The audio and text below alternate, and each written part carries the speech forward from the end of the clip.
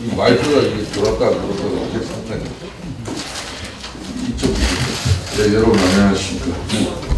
네, 10월 12일 자유한국당 국감대책회의 시작하겠습니다 어제 제주 가남시에 참석해 강정마을 주민의 고통과 상처를 치유하는데 최선을 다하겠다고 말했습니다. 강정마을 주민의 고통과 상처를 치유하는 첫걸음은 고통과 상처의 원죄를 인정하는 데서 시작되어야 할 것이라는 점을 말씀드리지 없습니다.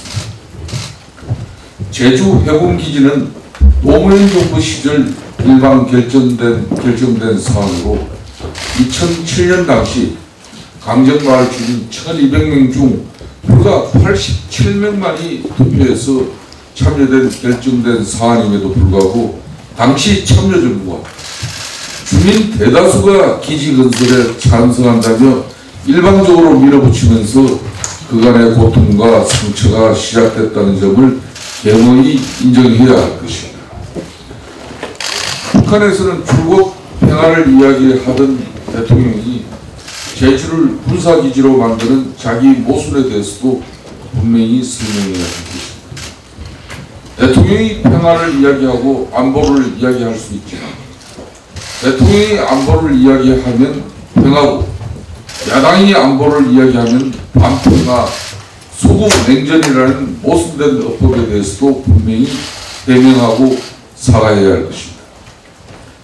아, 지난 9분의 말 기념식에서 우리가 힘이 있고 우리를 지킬 수 있는 자신감이 있을 때 평화가 지속될 수 있다는 대통령의 말씀처럼 평화와 안보는 서로 상반된 개념이 아니라 서로 함께 가는 개념이라는 점을 다시 한번 명심해 주기 바랍니다.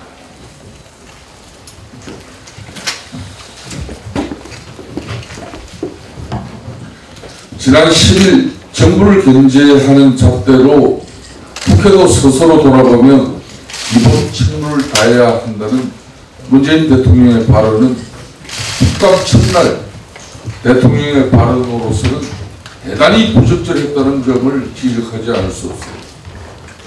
민족사적 대의를 앞세워 정기국회 대정부 질문을 등한시하고 장관 선수교체로 국정감사를 김폐기 하려 했던 대통령께서 국정감사가 시작되는 첫날 국회를 향해 너나 잘하세요라고 발끈하는 태도는 감사에 임하는 올바른 자세도 아닐 뿐더러 신선한 국정감사를 모독하는 오만한 태도라는 점을 지적하지 않을 수 없습니다.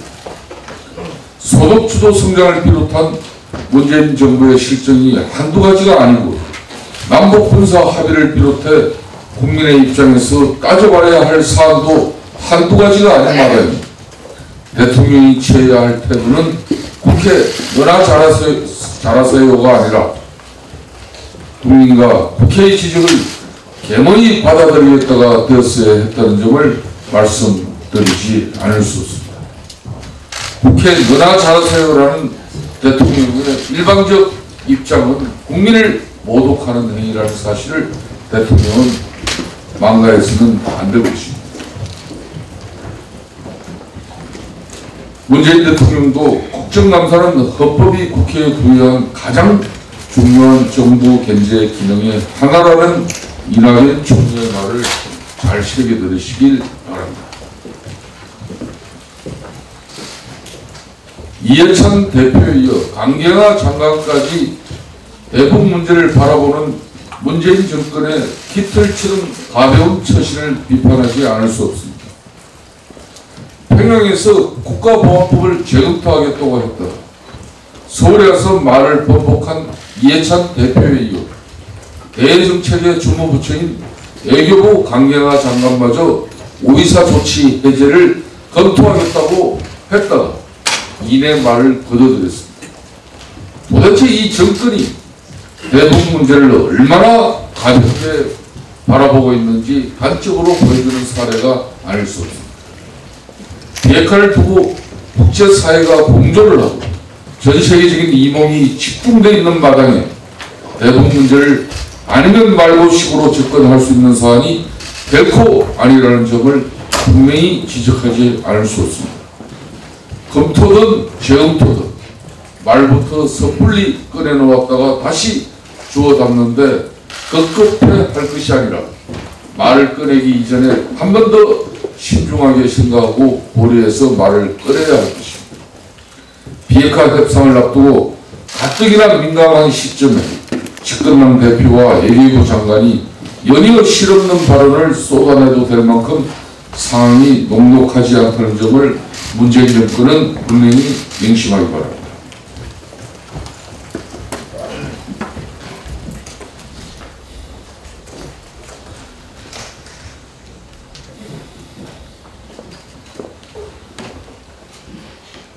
국정감사가 오늘로 3일째 접어들면서 어제 그제 당국의 정책 기조에 대한 기본 질의가 일단락되고 있습니다.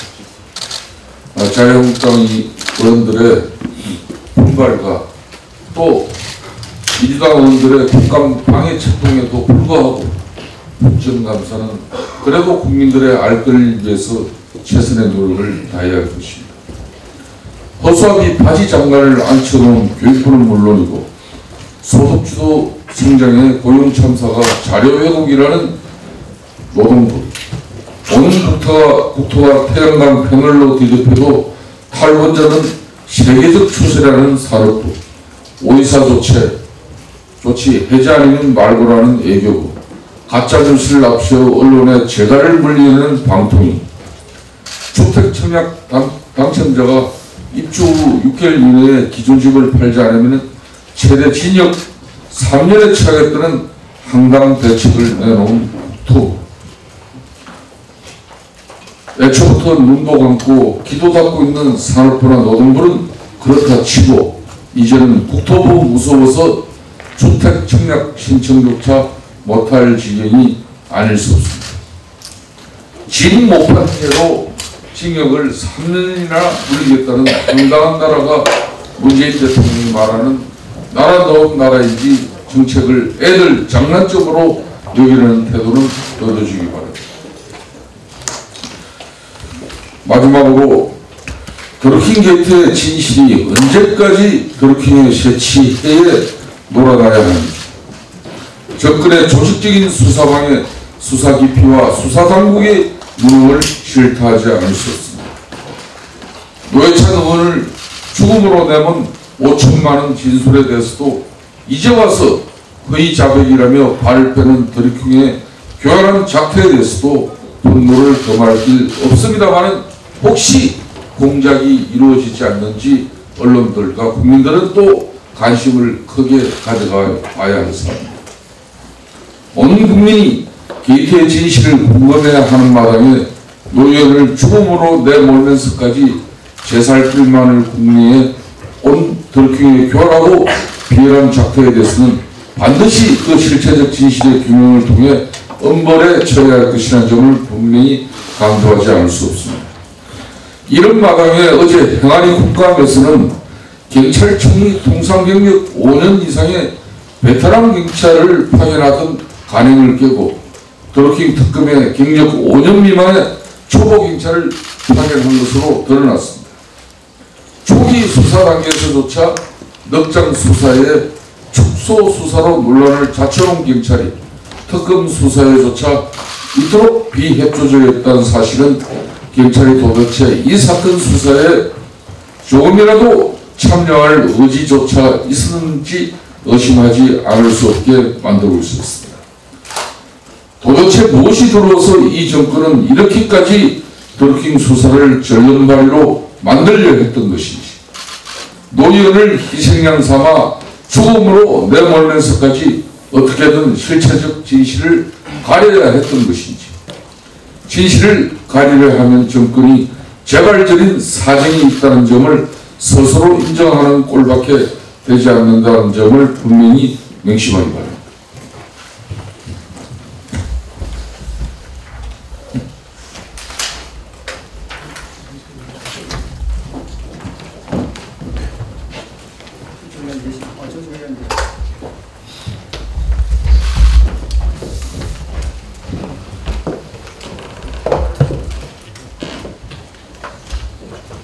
오늘은 검은 목요일 한국 증시 폭락과 신흥국 공유기 도민화 관련되어 말씀드리겠습니다.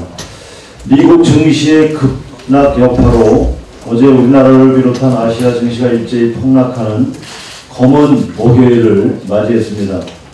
어제 코스피 지수는 기록의 하루였다고 해도 과언이 아닙니다.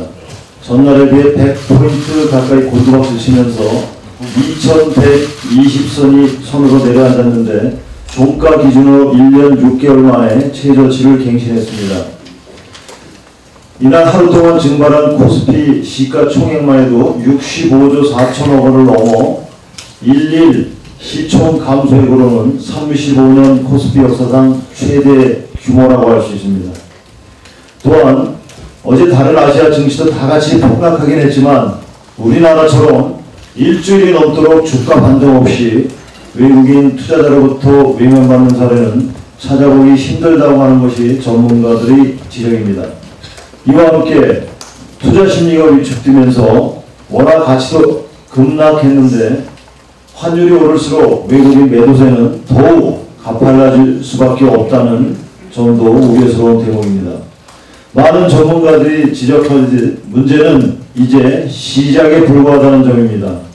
미중 무역전쟁은 진정될 국면을 전혀 보이지 않고 미국발 금리 인상으로 투자 심리는 급속도로 얼어붙고 있으며 국제 유가마저 빠르게 치러지면서 악재가 동시다발적으로 터지고 있습니다.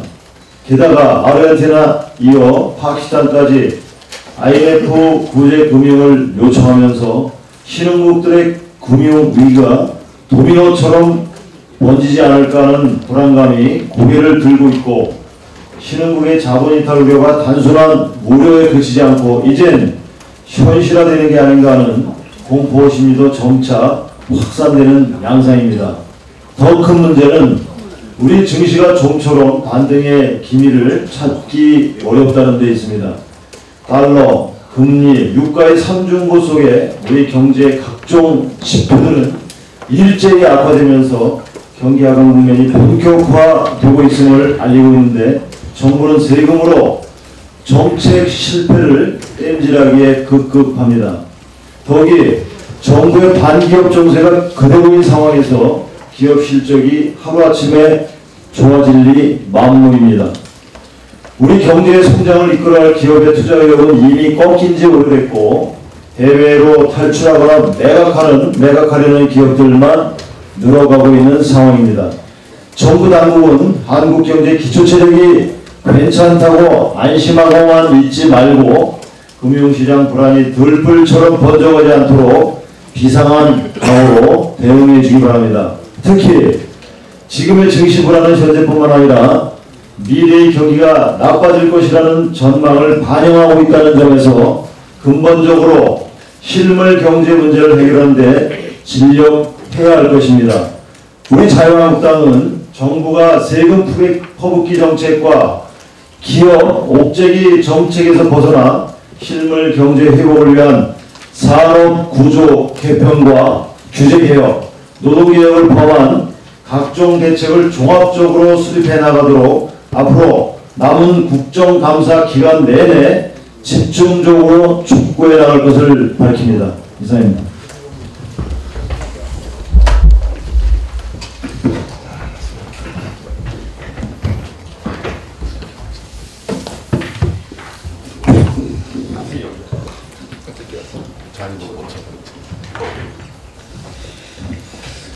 국정감사가 이제 3일째 진행이 됩니다. 어제 국정감사에서 어, 우선 외, 외통위에서는 외교장관의 오이사 조치 해제부터 관련 발언과 관련된 문제점을 집중적으로 추궁을 했습니다. 그리고 특히 그 공공기관의 단기 그 일자리, 소위 알바를 채용하는 지침을 어, 청와대로부터 받아서 기재부에서 지금 일자리 부풀리기 지금 시도를 하고 있습니다.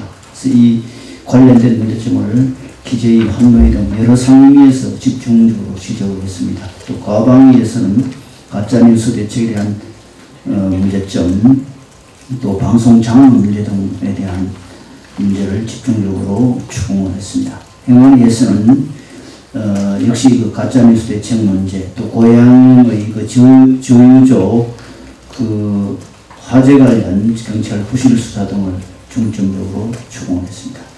해양수산부 국감에서는 그 남북 군사합의서 관련 서해상 평화 수용 및 공동 어로 그 관련 문제점, 또 유엔 제재 위반 문제 등을 중심으로 경감사를 진행했습니다.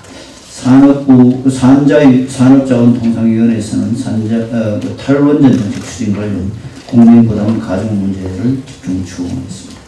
오늘 국감 3일차입니다. 그래서 어, 여전히 소득 주도 성장 실패 등 민생 경제 파탄과 대안 제시를 위한 생활 밀착형 이슈, 이슈 또 언론 자유와 국, 어, 국익을 위한 민주주의 수호 이슈, 탈원전 부작용, 또 한반도 평화 안보 등 현안 등에 집중해서 문제점을 지정하고 대안을 제시하는 국정 감사를 어, 진행하겠습니다. 이상입니다.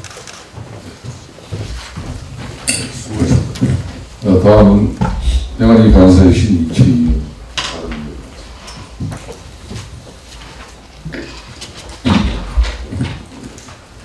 문재인 대통령 어제 제주도를 방문해서 해군 기지가 있는 강정마을 주민 간담회에서 제주 기- 기지 건설에 대해 절차적 민주적 정당성을 지키지 못했다는 발언을 하시면서 대통령으로서 깊은 유감을 표했습니다. 특히 문 대통령은 제주 기지 건설을 불법적으로 반대한 시위대들의 사면 복권도 적극 검토하겠다 이런 얘기를 했습니다. 제주 해군 기지 건설은 다름 아닌 노무현 정부에서 국가 안보를 위해 반드시 필요하다고 판단해서 결정한 국가적인 큰 사업이었습니다. 특히 제주 기지 건설을 발표한 2007년 4월 문재인 대통령이 당시 청와대에서 비서실장을 하던 때입니다. 자신이 모셨던 대통령과 함께 추진한 해- 제주 해군기지 건설을 11년이 지난 지금에 와서 정당성이 부족하다고 하는 것은 앞뒤가 맞지 않은 그야말로 아전인수격 발언이 아닐 수 없다. 저는 그렇게 생각합니다.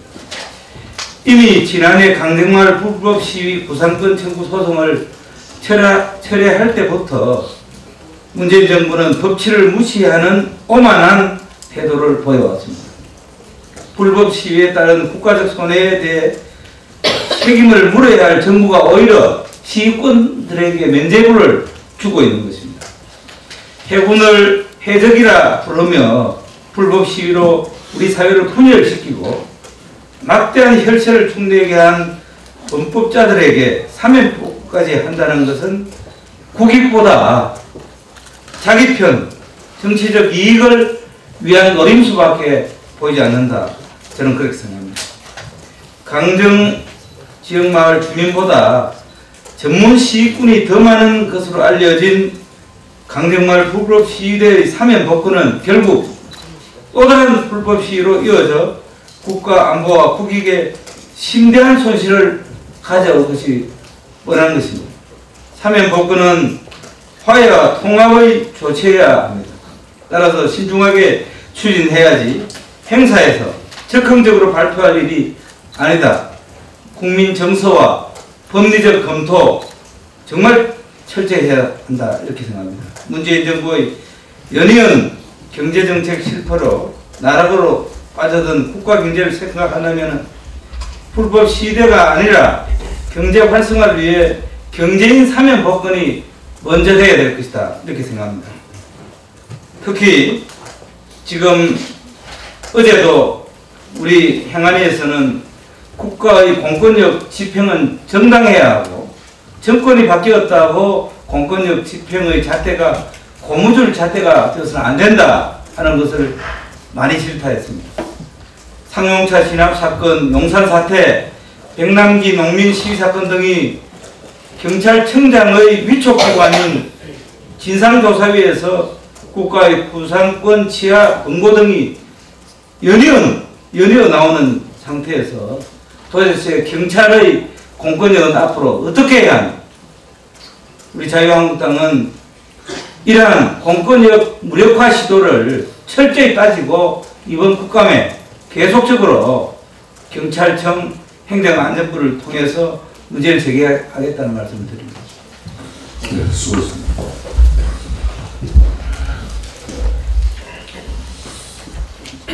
네, 트럼프 대통령의 트럼프 대통령의 어프로벌이라는 표현은 애교적 결례입니다. 그러나 대북 제재에 관한 국제사회의 공감대 없이 섣부르게 일방적으로 북한을 제재 해제하려는 정부가 자초한 측면도 더 크다는 사실입니다. 남북 관계 개선, 남북 간의 정상회담의 최종 종착역과 목적지는 분명히 해야 합니다.